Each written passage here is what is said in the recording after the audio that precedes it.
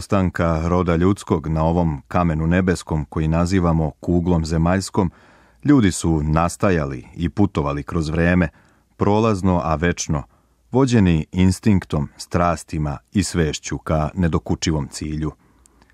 Na toj majušnoj tački, a opet ogromnoj i nepoznatoj, na njenoj severnoj geografskoj širini, 43. stepenu, 18. minutu i 11. sekundi i istočnoj geografskoj dužini, 21. stepenu, 13. minuti i 12. sekundi, nalazi se selo Sibnica.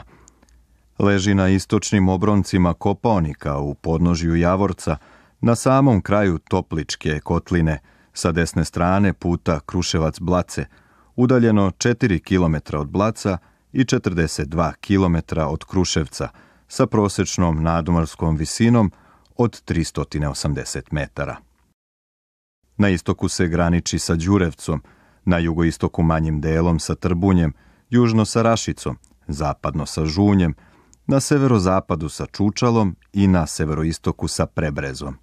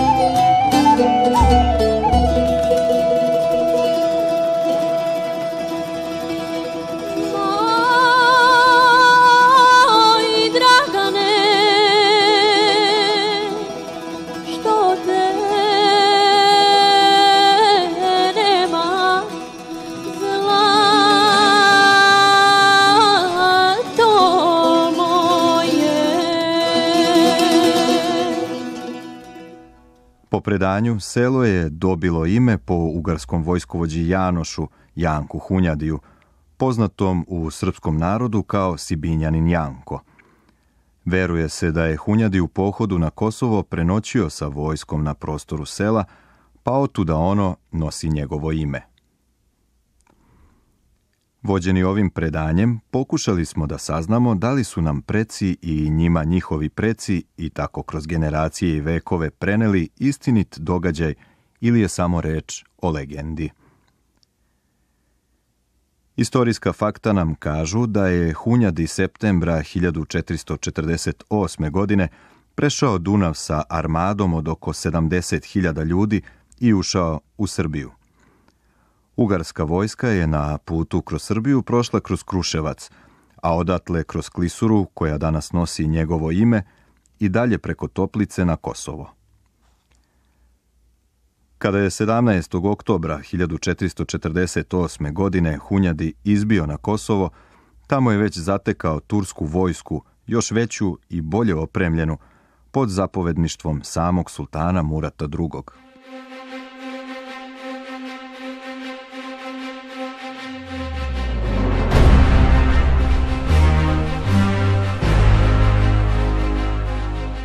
U strahovitoj borbi koja je trajala tri dana, Mađari su bili potpuno potučeni. Izgubili su 17.000 junaka. Pomen o toj pogibi sačuvale su mnoge narodne pesme, a u našem narodu se do danas održala uzrečica nastradao kao Janko na Kosovu. Dakle, istorijska fakta nam govore da je ugarska vojska u pohodu na Kosovo pod Hunjadijevim vođstvom nesporno stigla do atara sela koje se danas naziva Sibnica. Ako se i ovlaš pogleda topologija sela, odmah je uočljivo da selo ispunjava sasvim dobre uslove za logorovanje vojske, veliko polje, reku, šume i izvore pitke vode. Kada se ovome doda da Sibničko polje leži praktično u istoj kotlini sa Đurevačkim i Prebreškim poljem, onda se ne dovodi u pitanje smeštaj celokupne vojske. Hunjadi je 1456. godine bio glavni zapovednik hrišćanske vojske u odbrani Beograda. Bespoštedna bitka odnela je hiljade života. Tri nedelje posle bitke u okolini Beograda izbila je kuga kao posljedica velikog broja nepokopanih leševa. I sam oboleo od kuge Janoš Hunjadi umro je 13. avgusta 1456. u Zemunu. Umro je vojskovođa, junak čije ime za nas više nema sumnje, Sibnica nosi već 570 godina. Kada su Turci osvojili ove krajeve i da li ih je despotovina uopšte branila posle sloma srpske vojske na Kosovu? Da li postoje sačuvani turski tefteri arački, popisi sela? Kakav je sastav stanovništva u selu? Ima li nevernika? Odgovore na ova pitanja, kao i na mnoga druga, nismo tražili, pa ih ostavljamo možda prvenstveno onima koji dolaze po zmajevim stihovima. Što ja počeh, ti produži. Još smo dužni, ti oduži. Dok smo tragali za prošlošću sela, Ispred nas su počeli da izlaze događaji na Jankovoj klisuri i oko nje, koji se nisu mogli, ani smeli zaobići.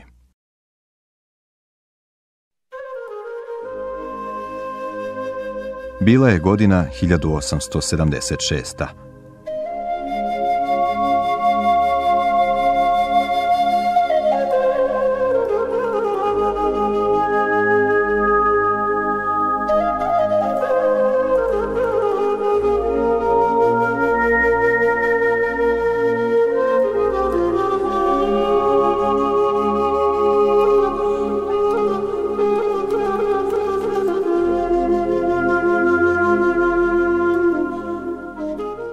Србија се припремала за рат против Турскија.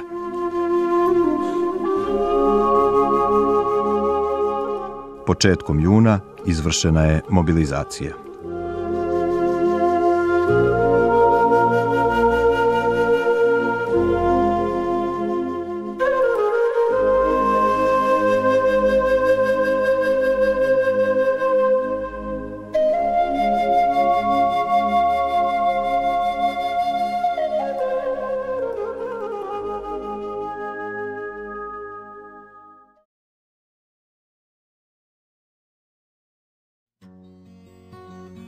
Tog leta u Srbiju je stiglo oko 2500 ruskih dobrovoljaca, pretežno oficira.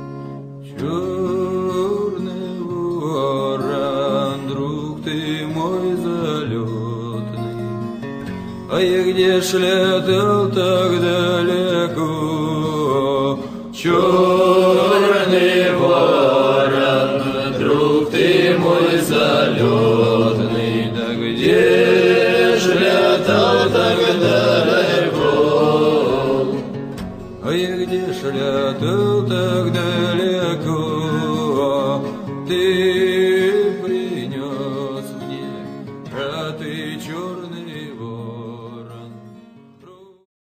Objavom srpske ratne proklamacije 18. juna 1876. godine započeo je prvi srpsko-turski rat.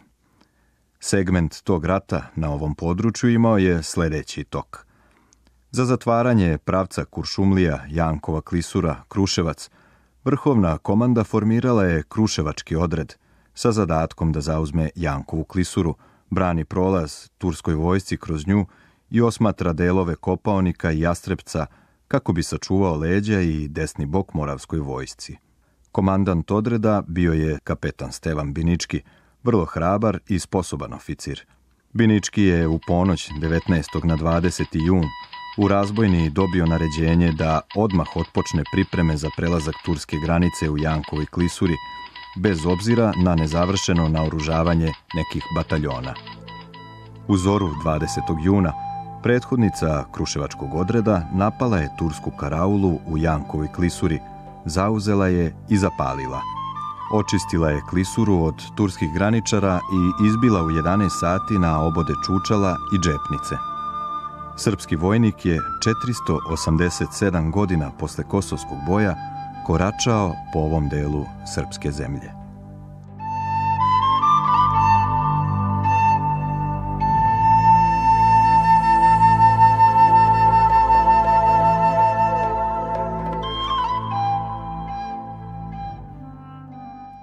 Odred je nastavio dalje da goni neprijatelja oslobodivši čučale, proteravši tursku vojsku istočno od reke Blatašnice.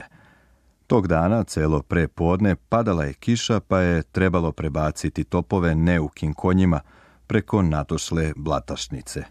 Rezerva još uvek nije bila izvedena preko granice. Vojska je od ranih jutarnjih časova bila sa puškom u ruci, pa je sve ovo navelo komandanta Biničkog da obustavi dalje napredovanje i da se ulogori u Čučalu.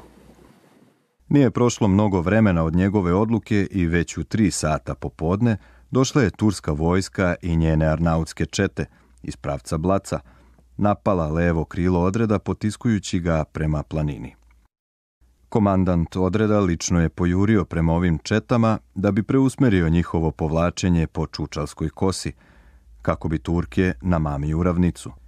Preskačući nekakvu ogradu, pao je sa konja, sabljom znatno posekao levu ruku, ali su Turci namamljeni u ravnicu gde je prethodno uputio četu prve klase. Turska vojska i njene arnautske čete naterane su na povlačenje. Srpska vojska je do kraja dana odbranila čučale, oslobodila džepnicu i sivnicu, zaposela njihove visove, ulogorila se na njima, isturila straže i predstraže po njihovim brdima i čukama. Tog kišnog 20. juna 1876. godine tri bataljona Kruševačkog odreda sa topovima i vodom konjanika pod Stevanovom komandom iscrtavala su po Čučalu, Džepnici i Sivnici novu liniju između Srbije i Turske, koju će u novembru mesecu po završetku rata Međunarodna vojna komisija proglasiti демаркационом. У jednoj депеши, упућеној предпостављеној команди, наводи се да је у бици код Сибнице 10. јула друга дринска батерија испалила 148 граната на непријателја. У међувремену, одред је појачан, а за команданта војске на Јанковој клисури postavljen je major Лазар Чолак Antić. Binički je задржао команду над Kruševačkom brigadom. Sve do početka avgusta odred nije vodio značajne borbe. Kada su iz Niša glavne turske snage krenule na Aleksinac, Istovremeno iz Kuršumlije 3. avgusta krenulo je 5000 turskih vojnika u dve kolone prema Jankovoj klisuri. U 9 sati ujutru komandant odreda, major Lazar Čolakantić, bio je obavešten o približavanju ovih kolona. Oko 10 sati oglasile su se predstraže u Prebrezi. Prva brojnija kolona sa oko 3000 vojnika približavala se Prebrezi. Pravac kojim se kretala ukazivao je na njenu nameru da zaobiđe odred, da preko planina siđe u Majdevo i ode dalje do iza leđa Moravskoj vojsci. Upućene su čete da presretnu kolonu. Oko puta koji vodi kroz Prebrešku planinu prema glavnoj karauli otpočela je oštra borba. Levo krilo odreda potisnulo je ovu kolonu sve do glavnog puta koji vodi u klisuru. Jedna nevolja nikad ne dolazi sama. Iz pravca Sibnice, preko Čučala, nadirala je druga kolona sa oko 2000 vojnika i spojila se sa prvom kolonom. Turska vojska bila je sada gotovo dva puta brojnija od srpske. Započela je teška bitka u Čučalu i Džepnici. Odred je ispalio oko 60.000 metaka i 110 granata na tursku vojsku. Usijali se Čučale i Džepnica. U neposrednoj blizini klisure srpska vojska imala je 3 km iskopanih i utvrđenih rovova, uzmicala je pred turskom vojskom do ovih rovova. To je bila njena posljednja linija odbrane klisure.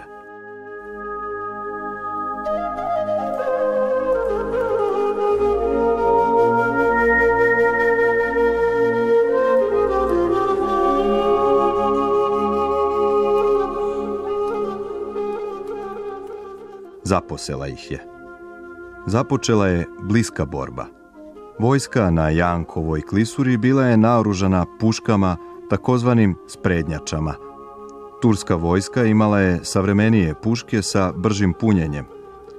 Posle četiri sata borbe, Turci su krenuli u juriš i isterali iz rovova srpsku vojsku koja se povukla prema klisuri.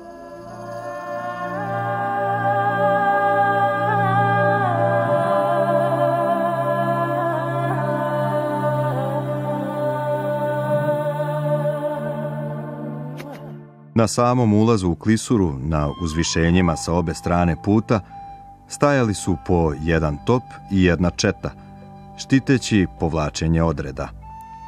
Za vreme njihovog dejstva, umešni major Antić uspeo je da sakrije pešadiju u klisuru. Turska vojska stigla je na šesto koraka do ulaza u klisuru. Zaštita odreda se povukla – Artiljerija turske vojske ispalila je nekoliko granata na klisuru, a onda je ušla njena prethodnica. Razumevši da u klisuri nema žive duše, dala je znak glavnini da krene napred i potrčala da otme topove srpske zaštitnice, koja se povlačila prema razbojni, Jeftićkom brdu. Komandant Antić sačekao je neko vreme da turska vojska zađe u klisuru, a onda se duž tesnaca sa šumovitih i krševitih uzvišenja sa obe strane puta oglasila srpska pešadija unakrsnom vatrom. Nije bilo prostora ni vremena za bilo kakav ozbiljni otpor. Trpevši teške gubitke, turska vojska se odmah dala u povlačenje, a za njom je krenula srpska pešadija. Predavač taktike na Vojnoj akademiji, komandant Čolak Antić, prelomio je bitku – porazio je dvostruko brojniju tursku vojsku. Leđa Moravskoj vojsci bila su sačuvana. Odred je do šest sati uveče zaposeo izgubljene položaje u Čučalu, Džepnici i Sivnici.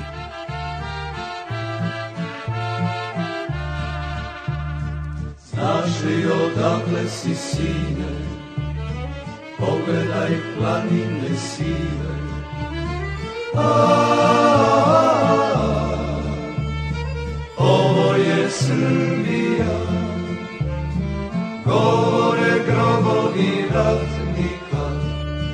slavnog vremena.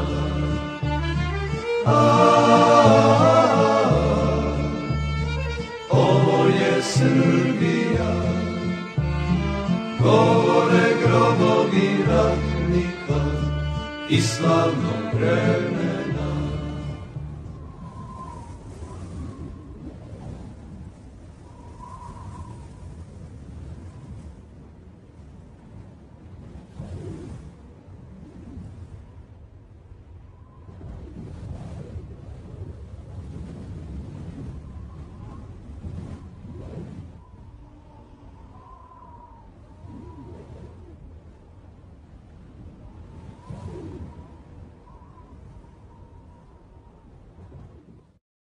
Vrhovna komanda je u septembru sa Deligrada kod Aleksinca uputila na Jankovu klisuru celu Valjevsku brigadu druge klase. Jedan od pripadnika novopristigle brigade bio je pitomac Vojne akademije, 21-godišnji narednik Živojin Mišić, kasnije proslavljeni srpski vojvoda. Evo kako vojvoda Mišić u svojoj knjizi Moje uspomene opisuje ratne događaje te 1876. godine na Jankovoj klisuri. Komadant brigade saopšti nam da ćemo sutradan rano preko Đunisa i Kruševca oputovati na Jankovu klisuru, što je i učinjeno. Komadant položaja na Jankovoj klisuri u to vreme bejaše inženjerski kapetan Stevan Binički. Pre toga bio je teže ranjen i još je uvek hramao. Čitave pesme vojnici pevahu, slaveći hrabrost ovog oficira. Koliko se sećam, do Jankove klisure imali smo dva prenoćišta. Kada stigo smo na Jankovu klisuru, ulogori smo se na severnoj strani u visini sela Čučale, koje beše potpuno razrušeno. Čak su i čeramide krovova bile istucane u najsitnije komadiće. To beše Čerkesko selo koje su naše trupe ranije zauzele i daleko naprijed isturile predsražne delove. U toku logorovanja brigade kod sela Čučale dešavahu se često sukobi na predstraž. Jednoga dana pozva me kapetan Binički i dade mi jedno pismo da ga odnesem artiljerijskom poručniku, ne sećam se tačno da li već beše kapetan Ljubomiru Mirosavljeviću, komandiru Brdske baterije koja beše na jednom visu, u sami izlaz iz Jankove klisure južno od Ruma. Kada sam izašao na taj položaj, zateko komandira baterije odmah pozadi topova gde sedi pored vatre. Malo desno od njega, pet šest vojnika, cigana, svirahu mu i pevahu neke pesme. Beše organizovao čitav orkestar. Čim mu se javih, pročite naređenje, posadi me na jednu oborenu buku pored sebe i naredi posilnog da kuva kafu. Cigani su neprestano svirali i pevali, a komandir im je pomagao u pevanju dok je po jedan od njegovih topova vršio paljbu. Borba se vodi, a komandir u svirku, pesmu i šenlučenje osmatraše svaku granatu pohvaljujući uz pesmu rad pojedinih nišanđija. Bravo Jelenko, alal ti majčino mlijeko, gledaj kako se tu revalja. Sviraj tuš Marko, veseo brajko. Tako govoraše i komandovaše ovaj naš čestiti hrabri topđija, bodreći i sokoleći svoje artiljerce. To beš oficir jako razvijene lične inicijative i uvijek spreman da svu odgovornost primi na sebe za sve svoje postupke u borbi. Beše omiljen kako kod svojih drugova, tako i kod vojnika. Neobično je lepo živeo sa mojim bratom Lazom. Tih dana prvi put u našoj brigadi dodeliše izvestan broj ruskih oficira dobrovoljaca. Jedan od njih, major Molostov, beše određen za pomoćnika komandanta brigade. Našoj brigadi je bilo pridato šest do osam ruskih oficira. U moj bataljon behu raspoređena dvojica, jedan poručnik, čije ime nisam zapamtio, i potporučnik Burov. Prvi od ove dvojice beše vrlo ugledan i solidan mladić, koliko se sećam, pored ruskog, prilično je govorio i nemački. Jedne večeri, pošto smo već bili legli, pored naloženih vatara, tako otprilike oko 11 i po časova, dođe nekoliko ruskih nižih oficira kod potporučnika Burova, koji ne beše daleko od mog šatora. Posle dužeg međusobnog živog razgovora otpočeli su neko spremanje. Tražili su svoje šinjele, šaške, revolvere, objašnjavali se nešto sa posilnim i neprestano pretili Turcima. Malo zatim, potporučnik Burov prilično ugrejan. Dođe do šatora moga brata Teodora i poče ga dozivati Teo, Teo bre, pošto nije mogao da ga probudi, zavuče ruku ispod šatora i poče za palac cimati Teju, tražeći ruma. Odmakni mora odatle, kakav te rum noćas popao, odgovori Teja. Teja na kraju popusti, napuni mu čuturicu i buro voda. Te iste noći pred zoru osu jaka puščana paljba na presražnoj liniji. Logor se uzbuni. Poleteše ordonansi na sve strane. Sa presražnog položaja stiže jedan ordonans sav zajapuren tražeći komadanta brigade. U osvit svi smo već bili na nogama, a vojnici na strojevoj liniji pod oružjem. Komandir Brdske baterije izbaci nekoliko granata u svirku baterijskog orkestra i paljba se utiše. Malo docije saznalo smo da su pet uskih oficira pre zore prošli kroz predsražnu liniju, napali na tursku mrtvu stražu, ubili jednog stražara, a ostale razjurili, te na taj način izazvali metež i upućivanje pojačanja od strane Turaka u ugroženom delu presražnog položaja. Malo docnije, četvorica njih vratiše se javiše da je Siromon Bulov poginuo, da su ga jedva doneli do naše predstražne linije i tu sahranili.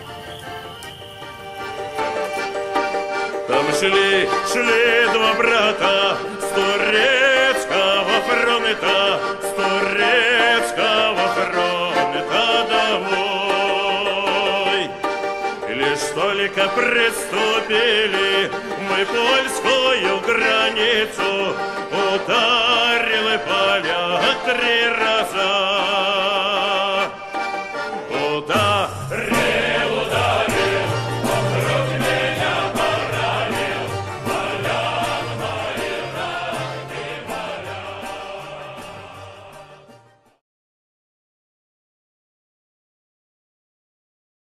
Impresivna su Vojvodina kazivanja, pogotovo što ih je pisao četrdesetak godina posle događaja i pogotovo kada se ima u vidu broj logora u kojima je boravio i bitaka koje je vodio u svom životu. Opšte prilike u ovom ratu po Srbiju bile su nepovoljne. Na molbu srpske vlade, Rusija je predala Turskoj ultimativni zahtev da sa Srbijom zaključi dvomesečno primirje. Primirje je zaključeno 20. oktobra. Velike sile imenovale su vojnu komisiju koja je u novembru odredila demarkacionu liniju i neutralnu zonu između Srbije i Turske. Demarkaciona linija na ovom prostoru išla je verovatno ovim pravcem. Od glavne karaule u Prebreškoj planini, preko Džepnice, Čučala, Sibnice i Rašice, dalje preko planina do Magova, a onda se u blizini Belog brda vraćala na tadašnju državnu granicu. Ratnici na Jankovi klisuri u prvim danima rata bili su koznički i kruševački bataljoni, a zatim su pristizali Jagodinski, Trstenički, Valjevski bataljon i artiljerci sa Drine. To su bili mladići, seljaci, koji su se pretvarali u vojnike noseći svoje opanke po kojima će srpska vojska biti prepoznatljiva u ratovima koji su dolazili. Njima su komandovali veoma obrazovani oficiri i vrsni poznavaoci ratne veštine. Brigade su krajem oktobra polako napuštale Jankovu klisuru, ostavljajući svoje straže na demarkacionoj liniji, koje su gledale ka Toplici i dalje ka porobljenim delovima Srbije. Otišli su, ostavljajući Jankovu klisuru, svetu stazu vojske kneza Lazara, nepogaženu i neokaljanu.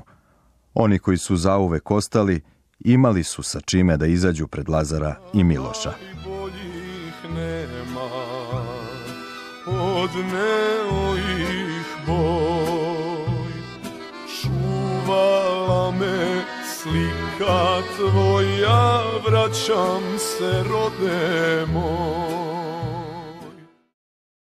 Ovom klisurom je Lazar otišao sa svojom vojskom na polje Kosovo, a 59 godina posle njega je prošao Janko sa ugarskom vojskom idući prema već krvavom Kosovu. U Prvom svetskom ratu 1915. godine Jankovom klisurom povlačile su se šumadijska divizija prvog poziva i Timočka divizija drugog poziva, a za njima je išao njihov gonitelj, deseti korpus 11. nemačke armije. Malo je mesta u srpskoj istoriji koja nose toliku bremenitu prošlost, kao ovaj tesnac između Kopaonika i Jastrepca, koja je na pojedinim delovima širok jedva stotinak metara. Divizijama u povlačenju 8. novembra 1915. godine vrhovna komanda je izdala naređenje da brane Klisuru po svaku cenu, sve dok se treća armija ne spusti sa Jastrepca na položaje kod Prokuplja. Povlačeći se od Beograda, divizije su na svom putu vodile gotovo neprekidne borbe, pretrpevši značajne gubitke, a i dezerterstva, stigavši pred Klisuru, jedva su brojale 12.000 pušaka. Iscrpljene i izmorene, držale su Klisuru do 12. novembra uveče, kada je linijom Javorac, Čučale, Prebreza ovladao deseti nemački korpus. Ali vratimo se ponovo vremenu Turskom. Kruševački odred bio je jedna od svetlih tačaka srpske vojske u ovom po Srbiju neuspešnom ratu. Njegovi preduzimljivi komandanti Antić i Binički podigli su ustanak duž čitave koponičke granice. Formirali su dva bataljona sa 1200 ustanika koji su se uspešno borili do kraja rata, preko kojih je vojska sa Jankove klisure osmatrala Kopaonik do granice Jošaničke i Jastrebac do Aleksinačkog okruga. Kada je srpskoj vojsci krenulo naopako u dolini Morave, odred je počeo da dejstvuje po Gornjoj Toplici, izazivajući tursku vojsku u Nišu da krene na njega kako bi olakšao našim trupama u dolini Južne Morave. Tim svojim dejstvima prokrčio je put srpskoj vojsci za drugi srpsko-turski rat vođen 1877. i 78. Prve borbe u drugom ratu u ovim krajevima vođene su tek na Mikuljanskom visu kod Kuršumlije.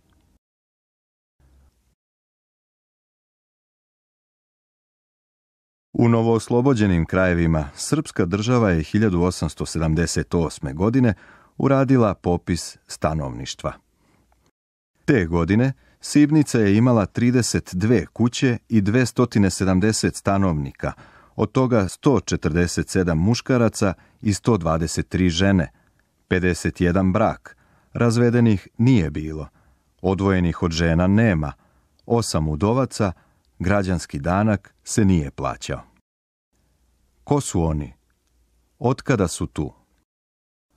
Odgovore na ova pitanja ostavljamo po već citiranom Zmajevom stihu. Jasno je da su ove kuće morale biti tu pre popisa 1878. godine, a verovatno da su tu bile još iz turskih vremena. Interesantno je uočiti da je Blace tada imalo 42 kuće i 285 stanovnika. Teritorija današnje opštine Blace sastojala se iz tri opštine, Draguške, Grgurske i Blačke. Može se uočiti da u popisnoj knjizi nema Čučala, Džepnice, Đurevca i još nekih sela. Posebno je zanimljivo kako u popisnoj knjizi nema Čučala i Džepnice, kada se u izveštajima komandanata navode kao težište ratnih operacija.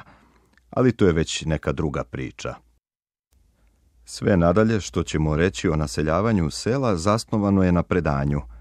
Jedan od pisaca ovih redova je Kaljinac, pa se može pomisliti da, koristeći tu privilegiju, govori o svojoj familiji. Ispričat ću tu priču samo zato što mi se čini interesantnom. Kaljinci su doseljeni u Sibnicu iz stare Srbije, Raška oblast, sela Kaljina – koje je danas u opštini Leposavić na Kosovu i Metohiji, na obroncima planine Rogozna.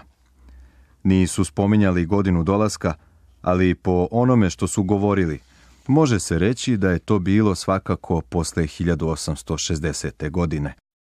Govorili su, a ja sam ih slušao jednim uvom. Danas bih slušao sa oba, ali njih više nema. Predanje kaže da je tamo, baš tu reč su koristili, neko njihov ubio nekakvog zlog Turčina. Bojeći se osvete, pobegli su iz Kaljina. Krenulo ih je 79 duša. Majkama je naređeno da deci koja plaču drže ruke na ustima kako bi se po noći izvukli neopaženo. Oni koji su vodili kolonu tražili su mesto u kome voda teče na sever.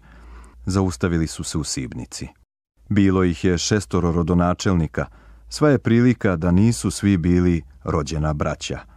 Bojeći se da ih turske potrage pronađu, promenili su prezime i slavu. Svako je formirao prezime po svom dedi rodonačelniku. Ja sam četvrti u nizu kome je prenesena ova priča. Da li je nešto zaboravljeno, ne znam. I na kraju. Ovo nije priča samo o velikim herojima i proslavljenim vojskovođama naših otačbinskih ratova.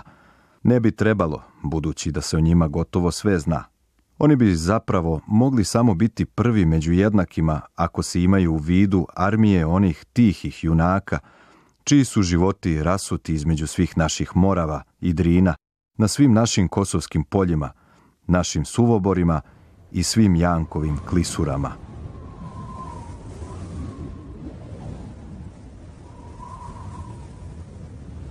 Ovo je ponajviše sećanje na one što su dali svoje živote, svoju mladost, svoje nedosanjane snove, prve i posljednje ljubavi, svoju nikad rođenu decu. Sve su dali, a ništa nisu tražili, znajući koliko i kakvu svetinju time brane.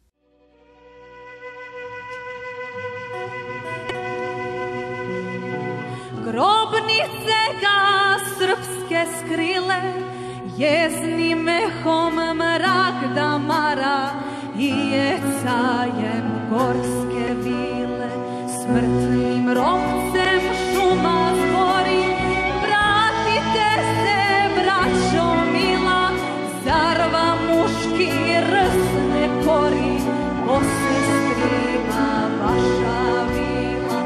Once you're.